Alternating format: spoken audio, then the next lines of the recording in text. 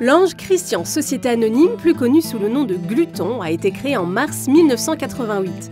Elle est actuellement située dans le zoning d'Anton, à Andenne, dans la province de Namur. Un succès dont n'est pas peu fier Christian Lange, son fondateur et CEO. Gluton est un aspirateur de déchets urbains dont le but est d'équiper les balayeurs de rue. Au lieu de faire ce boulot à la main, ils sont équipés d'une machine moderne, performante pour rendre les rues propres. Donc on situe d'une manière large dans le métier de l'environnement et de manière plus précise dans le secteur de l'équipement municipal.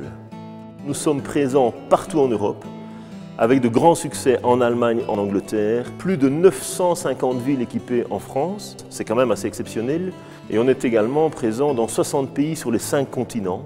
Les aides de la WEX sont diverses et variées. Je pense notamment aux aides financières pour les participations à des salons, foires internationales, ça c'est important.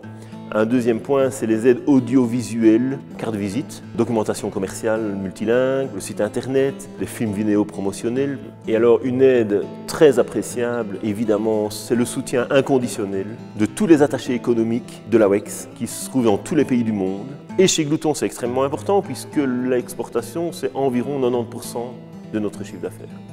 Glouton connaît une belle croissance d'environ 30% par an chaque année depuis 10 ans, donc pour les années qui viennent. Le premier défi sera de réussir la commercialisation d'un nouveau produit qui arrivera sur le marché euh, dans quelques mois. Le deuxième défi sera de réussir le déménagement dans une nouvelle usine à construire et qui sera 5 à 6 fois plus grande que celle-ci. Et le plus grand défi sera de trouver les collaborateurs qui vont nous aider à développer cette croissance.